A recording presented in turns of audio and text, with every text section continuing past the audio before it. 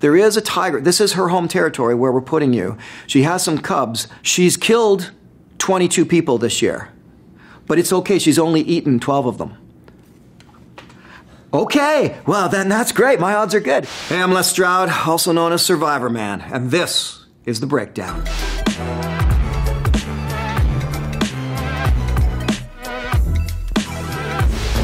This is Into the Wild.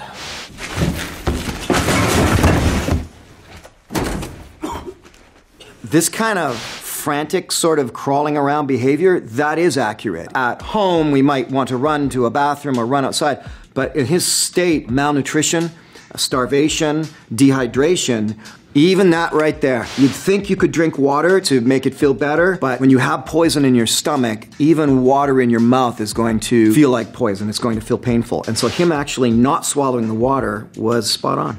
The thing about trying to identify wild edible plants through books, you could have nine books in front of you with photographs and line drawings and descriptions. You will just never ever be 100% certain. There is only one way to learn wild plants, and that's to have a teacher there showing you. When somebody says to you, yes, pick it, oh, go ahead and eat it. Oh, you're too shy? Okay, here, I'll show you.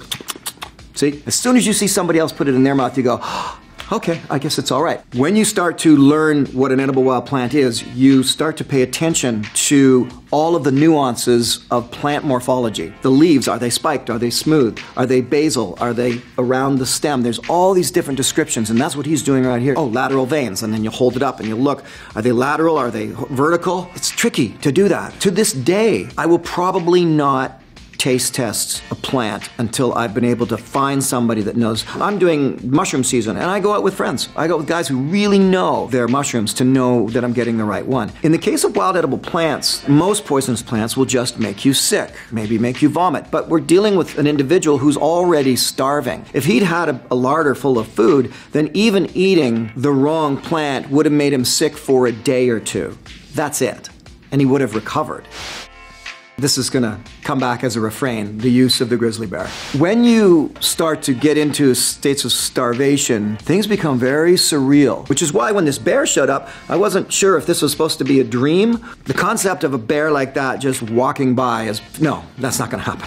The likely case scenario is the bear's not going to come close. It's going to, more than anything, stay away from him and his bust. I think Sean Penn handled the confusion of the wild edible plants and the books and the identifying very well because it is confusing. And the bottom line, the moral of the story, don't do it. Don't eat it if you don't know 100%. Bigger scale, my opinion of Chris, I think he was probably a very wonderful man. A lot of people liked him. He's been deified almost at this point. But he was a terrible survivalist. He didn't know anything. Oh no, but he had all those experiences where if you really pay attention and check out his story, the truth is he always got out of things by somebody else pulling him out. Somebody always kind of helped him out of bad situations. When he got up to Alaska, there was nobody there to save him. He was probably a very charming, very well spoken man. Alaska doesn't give a crap if you're charming. I don't believe Chris had to die. I think with a few bits of knowledge, he could have gotten by there. He could have done things much differently. I know in the story he has a moose and it spoils on him. There were so many ways he could have had that moose last him the entire time he was there, but he did he just simply didn't know how to do it. This is The Edge. This is one of those films I purposely didn't watch it based on the poster alone. Imagine you are a lawyer or your partner is a doctor and they make a TV show out of it. You know, you sit there going, no! That's what I do when it comes to survival films.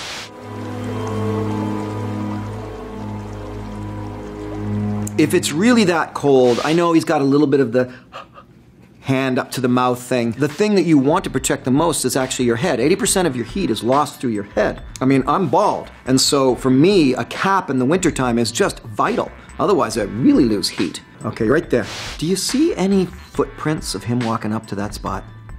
Because I don't see any. This is when Hollywood just doesn't get it. All of that snow around him, that should be all mucked up. It's like he was placed there by the, the camera crane or something. Here, we're gonna put you down there and then we're gonna film the scene.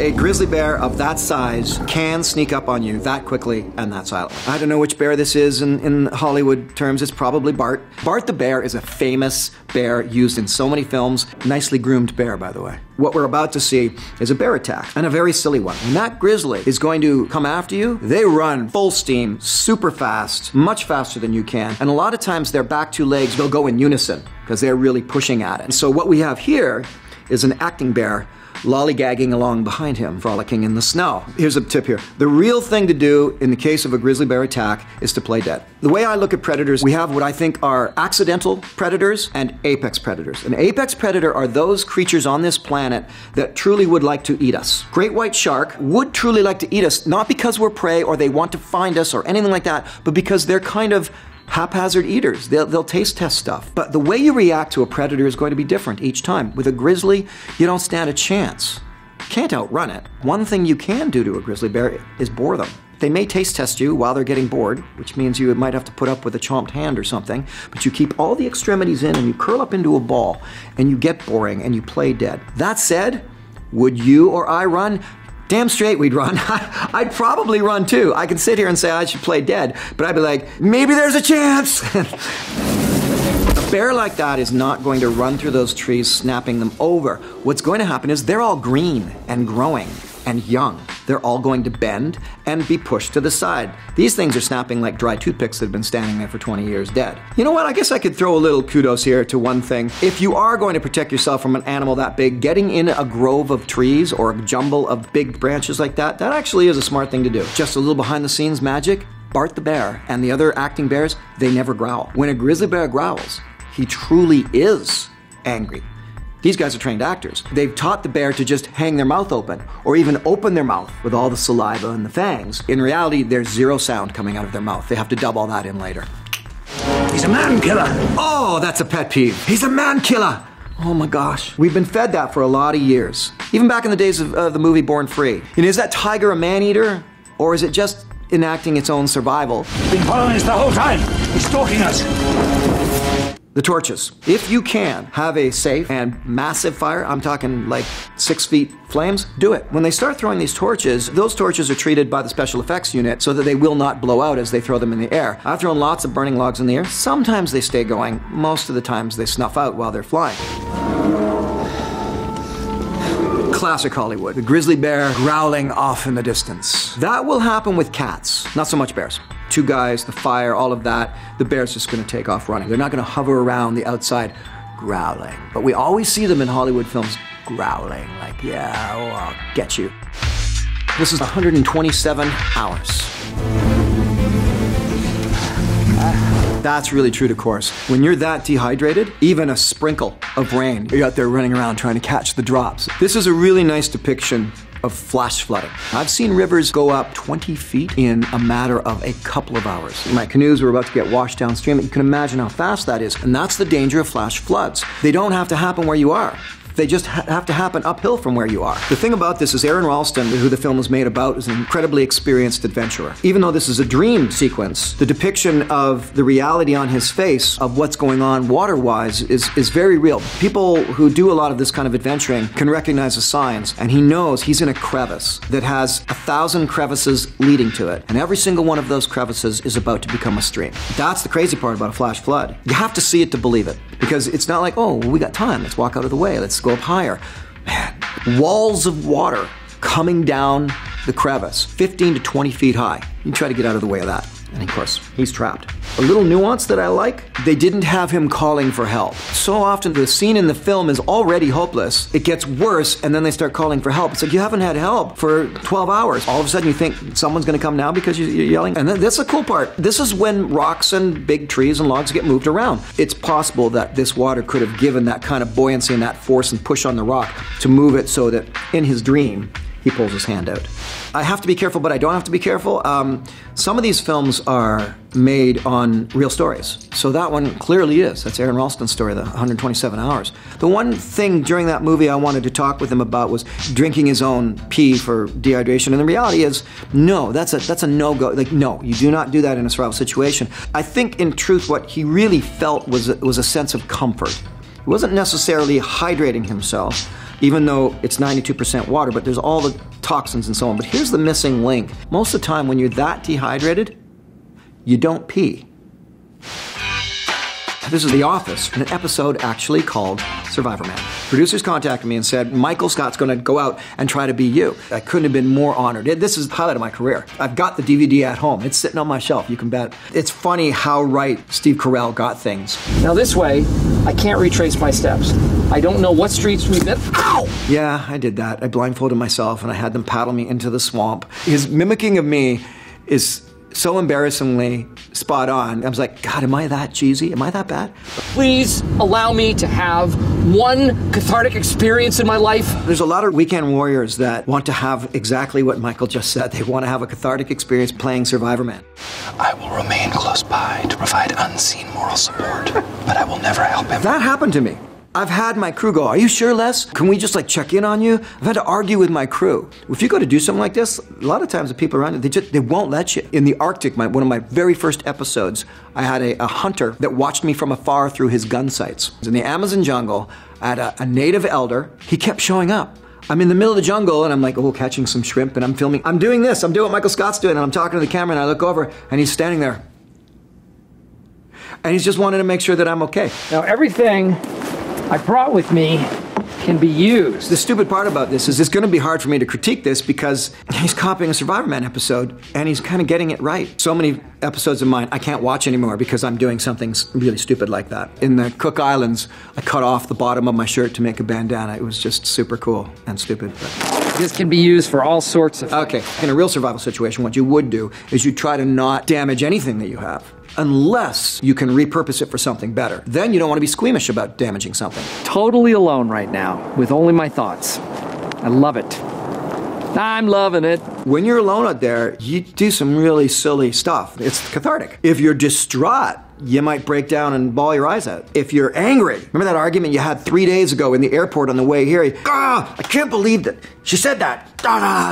You get it all out when you're out there. You know, he made a mistake cutting his pant legs off, and then he had to fix a mistake. When you're super hot at 2 p.m., you think everything's going to be fine, and then at 5:30, you're like. Huh. And now you're wishing you hadn't soaked your shirt in the lake or, or something, or in his case, cut his pant legs off. I tell you what bugs me halfway through a Survivor episode? My crew leave me alone for my seven days. And I know that on the day three, when I'm really hungry, they're having a beer and a filet mignon. I have made this spear ridiculously embarrassing. I made a spear that wasn't much straighter than that in the Cook Islands one time, and I knew it wasn't going to work. But I had to do something. I had to try. Well, you know what you eat when you're when you're out there? Very little, little grubby things. That's why you know I highlight catching a scorpion or crickets or something like that. That's what you really get. Nobody runs and impales a rabbit. You don't accidentally come upon a, a zebra that you can just eat because it's laying there in Africa with nobody touching it. On survival, you grovel.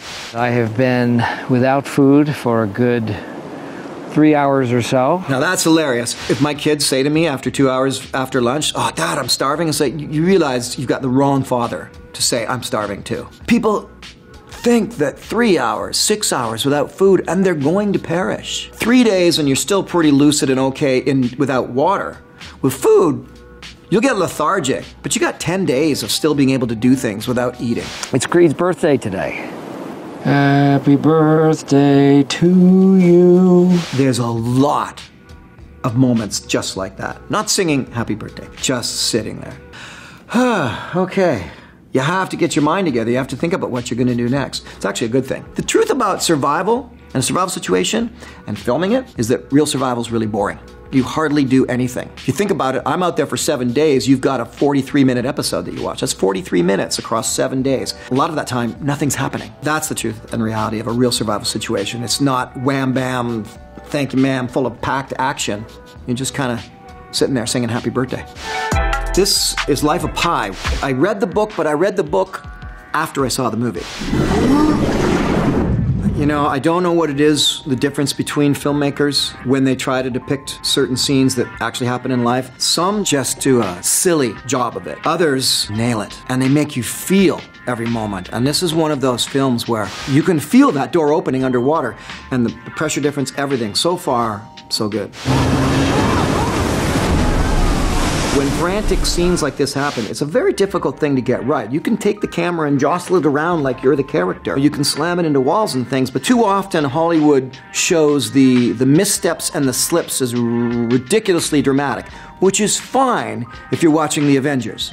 But if you're watching something like this, you know, you want it to be pretty spot on to how someone would slip on the deck, how someone would catch themselves. What I love about this scene is how quickly the boat slips away from the main boat. When the storm is that crazy, you can be out of reach of your safety within a split second. I'll bet you in the brain it all happens in slow motion but in real life it happens this fast. With waves like that, uh, you're going to be tossed about. You're nothing more than a cork, really. I think they depicted him being at the mercy of being tossed from a ship as perfect as I can imagine it, anyway. Your voice can only carry so far. I've been a, on the other side of a river with some basic rapids, not even rushing rapids, and you yell and the person on the other side can't hear you. Your voice does not cut through storms and rain and wind and forest very well at all. Whistles do. That's why whistles matter in survival. They cut through the sound, they travel long distance a lot better than you yelling, help. It's one of the reasons why I taught myself how to whistle. If I would whistle right now, I'd blow the microphones out. Now, that little moment right there is very true. I've been in the ocean with crazy waves trying to get on board small vessels. It is often a wave that will get you on board. When you know them, you can kind of time it. You know, the boat's going up eight feet and down eight feet. You have to time getting on board that boat with the waves. So, the Tiger did it right. There's a few things going on here. Number one, him jumping ship. It's a fictional story, so can't even speak to that one. Seeing the immensity of the wave above him, that's a pretty real thing to see. Going down below like this, the, the, the instant quiet, that's one of the things I love about diving. It can be crazy, but once you go underneath surface, it just goes quiet. They did throw in sharks swimming by for dramatic effect, and that's all that is, is dramatic effect. Yeah, nicely and beautifully done. I don't know if he's a free diver, but you can get down that low. You can hover, and I've done it watching humpback whales. This particular scene, they did beautifully in Life of Pi. This is open water. I've done a lot of shark dives. I highly advise learning how to dive and diving with sharks. It's one of the most amazing things you'll ever do in your life. Their setup here, people have been forgotten. With different companies, companies I don't know, especially local companies in small countries, I worry. They go out with 25 people, 26 people, and they don't do a head count. You don't, you're not paying attention to anybody else. You're looking at your own gear, and you're, you know, with your wife or your husband or your partner. Oh, oh my god. What is it? I won't comment on the acting. But as far as the scene goes, this is how sharks operate. Curious at first, so they'll bump you. They might bump you another six times. A tiger shark might try to taste test the tank on your back. More testing of what these two things up there are by the sharks before an all out attack. It has happened. A shark has come out of nowhere and attacked a diver before. That has happened. So rare compared to the amount of hours that humans are in the water doing all of this, these activities. Beautiful shark. It actually does portray how he would probably react to that because you get angry when when you get hurt, or at least I do. In fact, friends of mine know that if I get hurt and I go silent, I'm really hurt. But if I'm swearing up a storm, no, he'll be fine. He's- you know. Now, right there, that big chunk out of his leg. Would a shark do that on a second bump? Highly unlikely. Except for the great white, most of the sharks are accidental predators. They may attack because of other reasons, things are going on. You know, I mean, spear fishermen get attacked a lot because they've got dead fish all over them. My leg is still there, right? Yeah, I can feel it. Bad scripting. My leg is still there, right? The shark going after that little beacon there, it's been proven that sharks are actually attracted to the color yellow. Think about that when you buy your next wetsuit. And so the shark bumping that, I don't necessarily think the director meant that to be biologically correct, but it, it accidentally was, let's say. She's about to put a tourniquet on. What a controversial subject. The pendulum has always swung the use of a tourniquet in a survival situation. For a while, it was use a tourniquet, then it was never use a tourniquet, and it was use a tourniquet, and it was never use a tourniquet. We're back to pretty much using a tourniquet if you've been given the proper instructions. So the idea with using a tourniquet is you learn how to do it properly just as you would get your CPR or your first aid training. So putting a tourniquet on him is a smart thing to do. Now I would have gone top of my thigh, just higher, just in the crux there. Nonetheless, it's still the right thing to do. One of the most painful things you can ever feel in your life is a tourniquet. It hurts more than the shark bite. The first time I ever panicked under the water, my dive instructor took my head and held it like that. And then she went like this.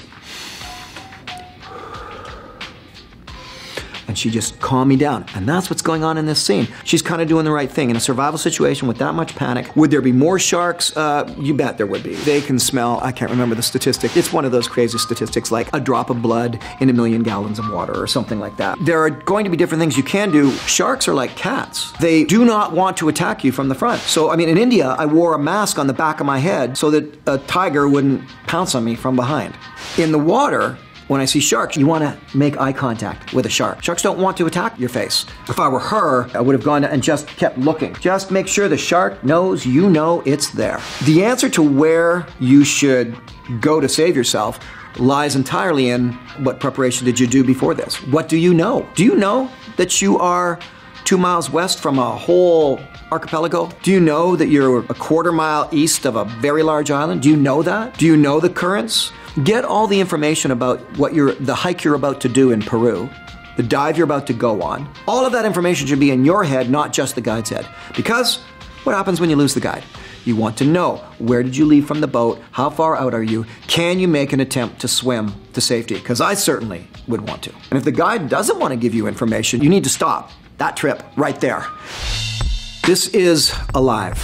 If we do this, we'll never be the same again. It's like communion. From their death, we live.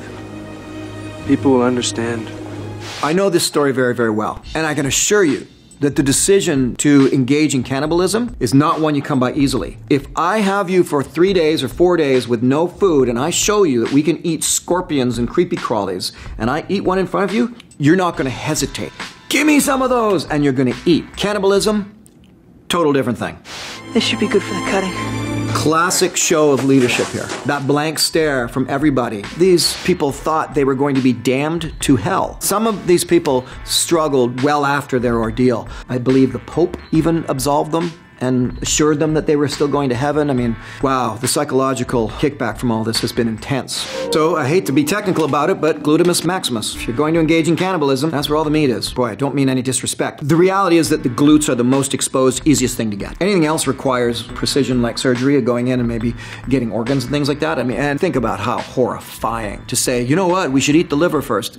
Ah. What you do in a situation of cannibalism is you try to dehumanize the body laying in front of you. An animal that you catch can be, at one moment, a cute and cuddly rabbit, and then when it's dead, it's a piece of meat you need to skin and roast. That's what they psychologically have to do. They have to take a look at the biggest muscle on the body, the place that is the farthest away from the humanism, the face. This is extreme survival. There's no question about it. I get asked, where's the toughest place to survive? What I'll say is, wherever it's cold. If it's cold, it's hard. You can't stop. If I'm in a really rugged area and there's jaguar around and poisonous things, but it's 75 degrees, I'm okay. I got forgiveness time. I can sleep by a tree maybe. When it's cold, you can succumb so quickly to hypothermia. When you don't have food in your system, what's there to keep your body engine warm? When it comes to cannibalism and any survival situation, you and I cannot judge. A group of people on the verge of potentially never being rescued and potentially dying are having to make a decision like this, so you can't judge unless you're there. Jeremiah Johnson. My favorite movie of all time. The uh, consultant on this film was uh, none other than Larry Dean Olsen, one of the godfathers of survival. What follows are proper depictions of, of survival. And first little slice of realism is that this is the time of year when the fish run in creeks like that. I've been in creeks with all the snow around them, and suckers are just running like crazy, bouncing off your legs. Now, you might be asking, why would he get himself all wet like that? Well, he's a desperate mountain man looking for sustenance. He's going after fish. Well, actually, no, this was an accidental find. He was trying to trap, but he sucks at it. This is the very beginning of the film. And this is the thing, we think we, we can just go up there and just be Jeremiah Johnson. You have to train, you have to learn these skills. If you're going to try and catch fish in a creek, even when there's hundreds of them, it can be tricky. I thought maybe they're just busy about their business until I started doing it several times. Oh no, they know you're there. They swim away from you quickly. Why? Because you represent to them likely a grizzly bear. Anything big that's coming down along the water, they don't want to be around it, so they try to take off. So it's very difficult. Now, what we're seeing here is going to set up the entire movie, which is his friendship with and then war with tribes that were in the area. That's a good look of disgust right there. Now, later on in the film, actually, when he bumps into that native leader again through translation, he says, You fish poorly. Uh, and he did. We're not looking at a seasoned mountain man yet. He's a wannabe. This scene here, I love this fire scene because, again, I know that Larry Dean Olsen was consulting, showing him this is how it actually works. Rock and steel and charred cloth. You take 100% cotton and you char it. And then if you put a spark on it, it catches the spark, holds the ember, you put that in tinder, you blow it to flame. That was their pack of matches. That's not like rubbing two sticks together, which is even more primitive. Doing it with the fire bow is, goes back in time. Doing it with your hands goes even farther back in time and different geographical locations. The thing about getting a fire going is this you've got to humble yourself and really take your time. I still don't understand today in regular camping how people can't get a fire going with matches and dry wood. It just it baffles me. In the end, it's a skill set and one worth practicing, and he's about to blow it. What's he done wrong? He's got no protection around him. He's not out of the wind, doesn't have a big supply of wood beside him. You have to treat your fire like it's your baby. You can do that, you, you will get a great warm fire going. The thing that Jeremiah Johnson portrays beautifully is that the romanticism and the power of being out in the mountains or on horseback or in the wilderness alone is still very, very powerful. It's a, it's a soul experience. I guarantee you, every man that has seen this movie is playing Jeremiah Johnson in his head when he when he watches I Could Do That. Yeah. The thing about Jeremiah Johnson and his ability to live and survive in the wilderness is um, he's just not instantly good at it. It takes a long time. It comes down in the end, he's on the mountainside and he's comfortable and he's roasting a rabbit. The character he meets in the beginning looks at him and just says, You've come far, pilgrim. My favorite line of all time, he just, without even uh, barely look at him, he just says, feels like far. That encapsulates the journey of wilderness survival. It takes a long time. And when you get to the end of it, it doesn't feel like it went by fast. It does feel like it's been a, a long journey. You know, sometimes like, boy, that went right by. Not survival, not wilderness. You get to the end of it, you feel weathered, you feel tough, and you feel like you've been on a, on a long journey. That was my breakdown. Thanks for watching.